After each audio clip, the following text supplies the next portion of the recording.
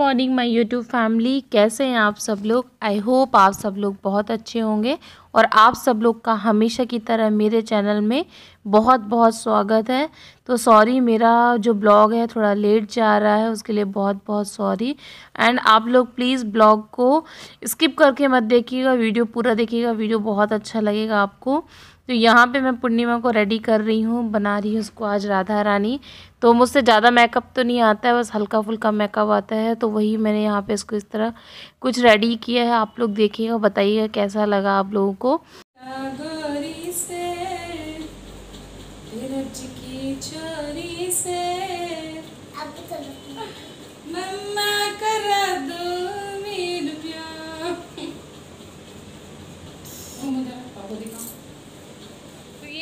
हमारी राधा रानी हो गई है रेडी देखिए कैसी लग रही है आप लोग कमेंट्स करके बताइएगा।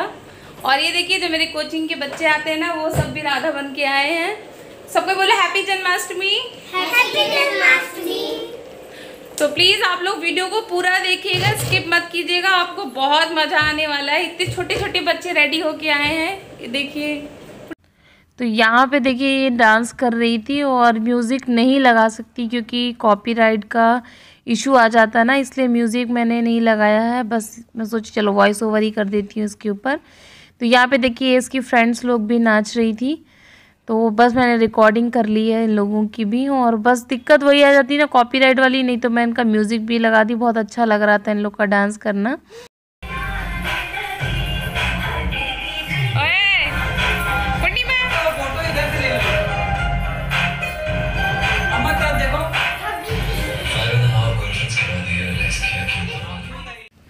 तो बस इन लोग का डांस हो गया था लड़कियाँ भी चली गई थी उसके बाद मैं यहाँ पे रेडी कर रही हूँ अपनी झांकी। तो ये देखिए, ये मैंने एक वीडियो से ही देख के सीखा था कि अपनी झांकी कैसे हम रेडी कर सकते हैं। तो यहाँ पे मैंने पहले साड़ी लगा दी थी और साड़ी के बाद यहाँ पे पूर्णिमा की चेयर रखी थी।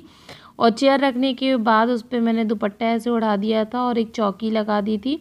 उसके बाद ये देखिए, मैंने एक बड़ी सी परात ली है और परात पे ही मैं इसमें लगाऊँगी लाइटिंग तो ये बहुत अच्छा लग बहुत अच्छा था वीडियो पे तो मुझे लगा चलो मैं ट्राई करती हूँ और आप लोग के साथ भी शेयर करती हूँ। तो यहाँ पे देखिए, मैं ये जो लाइट्स हैं इनको ऐसे अरेंज कर लूँगी और अरेंज करने के बाद इसमें सैलो टेप से इनको स्टिक कर दूँगी। उसके बाद फिर मैं इसमें बांधूँगी दुपट्टे, जो यहाँ पे देखिए मैंने दो दुपट्टे लिए हैं। आप कोई भी कलर के दुपट्टे ले सकते हैं। तो बस चलिए मैं इसको बना लेती हूँ, उसके बाद फिर दिखाती हूँ कि ये देख, बनने के बाद कैसा लगेगा। और पता है, आज ना बारिश भी यहाँ बहुत हुई थी, उसके बाद ये देखिए लाइट चली गई थी तो मैंने बस इसको एडिट नहीं किया था एज इट इज़ इसको डाल दिया। यहाँ पे देखिए मैंने सेलो टेप से जो लाइट से इनको स्टिक कर लिया, उसके बाद ये दुपट्टा मैंने ऊपर से ऐसे लगाया है, और नीचे ले जा कर के इसको मैं बाँध दूँगी और यहाँ देखिए पूर्णिमा पूर्णिमा के पापा ही बैठे हुए हैं और इतनी ज़्यादा थकान हो गई थी व्रत में और इसको फिर तैयार करना, तैयार करने के बाद वो पूरा सामान वगैरह सब समेटना। तो चलिए ठीक है, इसको पहले मैं कर लेती हूँ, उसके बाद फिर मैं दिखाती हूँ फाइनली ये कैसा दिखेगा।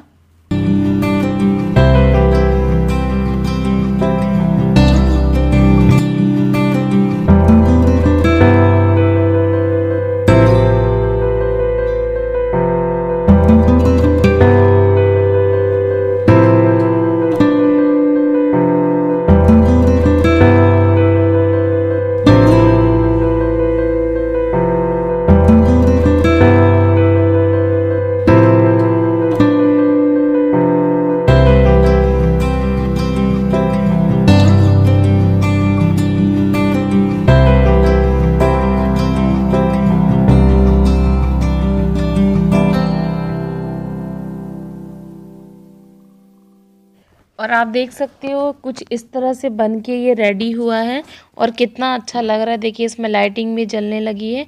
उसके बाद चलिए मैं इसको लगा देती हूँ मंदिर में। उसके बाद फिर आपको लाइट ऑफ़ करके दिखाती हूँ कि इसका लुक कैसा आ रहा है। और इस तरह के डेकोरेशन को हम नवरात्रि में ट्राई कर सकते हैं, क्योंकि जैसे अभी नवरात्रि आने वाली है ना, ये देखिए कितना अच्छा लुक है इसका। शाम हो गई और शाम को देखिए, अभी मैंने नहा लिया और अपने कपड़े भी चेंज कर लिए हैं। तो आज मैंने पहना है लहंगा। अभी मैं बाद में इसका लुक दिखाऊँगी। और ये देखिए झांकी मैंने आधी प्रिपेयर कर ली है थोड़ी सी और प्रिपेयर करूँगी तो बताऊँगी आप लोगों को। और अभी मुझे पूजा करनी है पूजा की मैंने अभी कोई तैयारी नहीं की है बस जल्दी से मैं सोच रही हूँ पहले अपना मैं ये भोग बना लूँ। तो यहाँ पे देखिए मैंने बनाई है साबुदाने की खीर। और ये ड्राई फ्रूट्स फ्राई करके रख लिया है और यहाँ पे मैं बना रही हूँ पंजीरी। कहते हैं ना, धनिया पंजीरी बहुत मतलब अच्छी अच्छी लगती है कृष्ण जी को।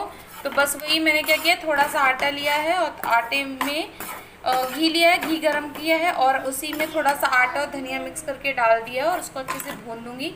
उसके बाद फिर देखिए और तो मुझे ज़्यादा कुछ नहीं बनाना है, बस पूड़ी बनाऊँगी, सब्ज़ी बनाऊँगी। तो बस चलिए, फटाफट में बना लेती हूँ, उसके बाद फिर मिलेंगे आपसे। पूर्णिमा तो अभी तक रेडी होगी घूम ही रही है। चलिए ठीक है, सारी तैयारी कर लेती हूँ, उसके बाद फिर मैं आप लोग से बात करूँगी। और अभी मैं कर रही हूँ, जो शाम वाली पूजा होती है ना, वो कर रही हूँ। अभी करीब बजे थे, सात बजे हुए थे, सात, साढ़े सात बजे के करीब।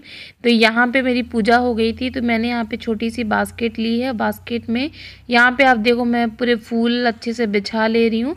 आप चाहे तो कोई कपड़ा भी ले सकते हैं और ये सब कपड़ा लेने के बाद उसमें थोड़े फूल डालिए। उसके बाद लड्डू गोपाल को इसमें हमें सुला देना है। मतलब अच्छे से इनको फूल से अच्छे ढक देना है और एक दो फल इसमें रख देने हैं। मतलब ये मानना है कि इनको अभी हम सुला देंगे, उसके बाद जैसे ही बारह बजेंगे तो फिर हम इनको उठाएँगे और इनका जन्म मनाएँगे। तो ये देखिए, मैंने अच्छे से इनको फूलों से ढक दिया है और मैं इनको रख दूँगी।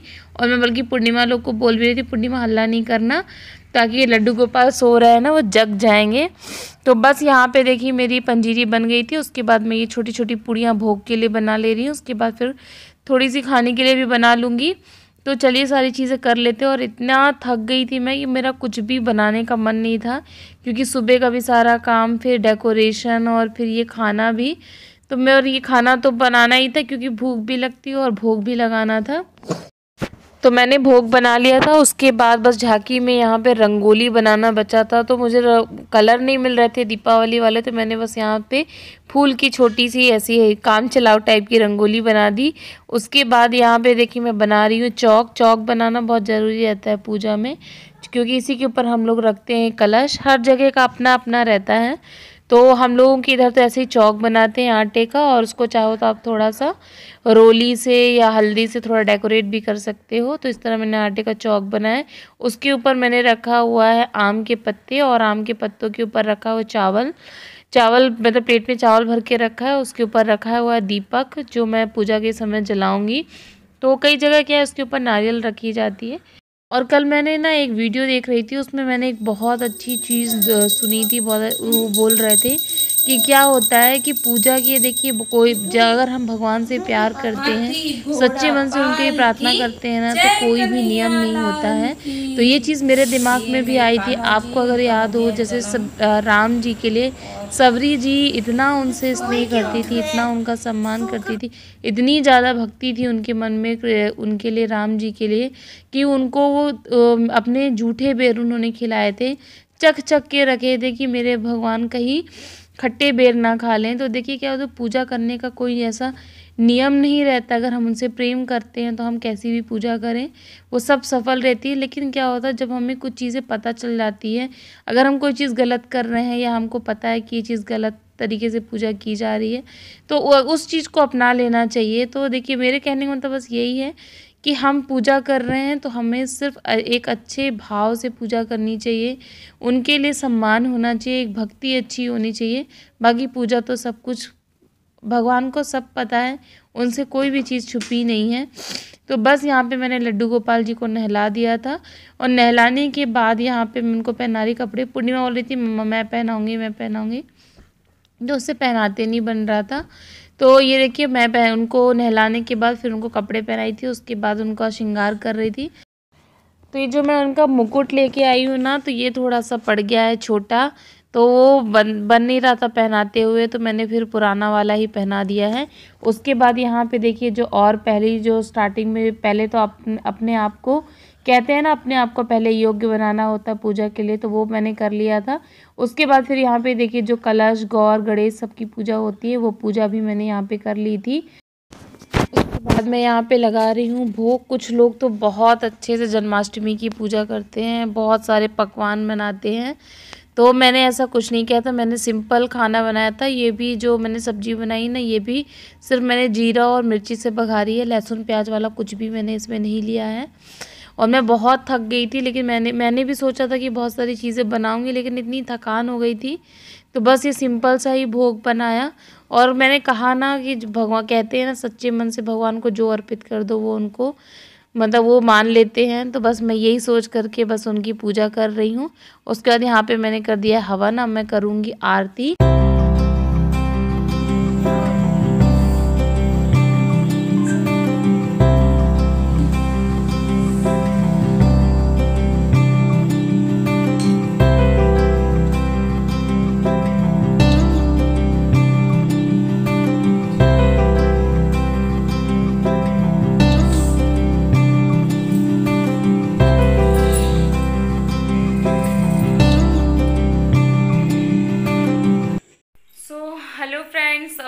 पूजा हो गई है और ये देख सकते हैं आप लोग। तो जैसे मुझसे पूजा बनी है, मैंने की है। बाकी पूजा करने वाले लोग कितना अच्छे से पूजा करते हैं। बट मैंने अपने फैमिली में जो देखा था, जो मैं हमेशा से करती आ रही हूँ, उसी तरह की मैंने यहाँ पे पूजा की है। ये देखिए, कुछ इस तरह से मैंने यहाँ पे डेकोरेशन भी किया था। ये देखिए, ये है हमारी झांकी और ये सारा सामान है। भोग के लिए मैंने सिर्फ़ यहाँ पे सब्ज़ी बनाई थी, सावधानी की खीर और ये है माखन और मिश्री पूड़ियाँ और ये जो पंजीरी बनती है ना धनिए और धनिए की तो वो वाली पंजीरी बनाई थी। तो बस अब एक बजने वाले हैं, अब अब भूख भी बहुत ज़ोर से लग रही तो हम लोग जा रहे हैं खाना खाने। तो एक बार मैं और आपको अपनी झांकी दिखाऊँगी, और अगर आपको मेरा वीडियो अच्छा लगा तो प्लीज़ मेरे वीडियो को लाइक कर दीजिएगा। और जिन्होंने अभी तक मेरे चैनल को सब्सक्राइब नहीं किया तो प्लीज़ आप लोग मेरे चैनल को सब्सक्राइब कर लीजिए। बहुत मेहनत लगती है एक वीडियो बनाने में। और आज तो बिल्कुल मतलब आप ही सोचो सुबह से खाली पेट इतनी सब पूरी प्रिपरेशन करने के बाद तो आप बहुत ज़्यादा थक गए हैं। तो प्लीज़ एक लाइक और सब्सक्राइब तो ज़रूर बनता है। चलिए ठीक है मैं खाना खा लेती हूँ उसके बाद फिर मिलेंगे अभी के टाइम हो गए दो बजने वाले हैं और जस्ट अभी हम लोग ने खाना खाया है खाना खा के अभी जस्ट फ्री हुए। और ये देखिए अभी ये कान्हा जी का सब कुछ रखा हुआ है। तो बस अब हम जा रहे हैं सोने और क्योंकि सुबह जल्दी भी जगना है तो अगर वीडियो पसंद आए तो प्लीज़ वीडियो को लाइक कीजिएगा। बहुत मेहनत करके वीडियो बनाते हैं तो प्लीज़ लाइक कर दीजिए लाइक कर दिया कीजिए, और जिन्होंने भी अभी तक मेरे चैनल को सब्सक्राइब नहीं किया है तो प्लीज़ आप सब लोग भी मेरे चैनल को सब्सक्राइब कर लीजिए। ठीक है, मिलेंगे नेक्स्ट वीडियो में, तब तक के लिए बाय, टेक केयर।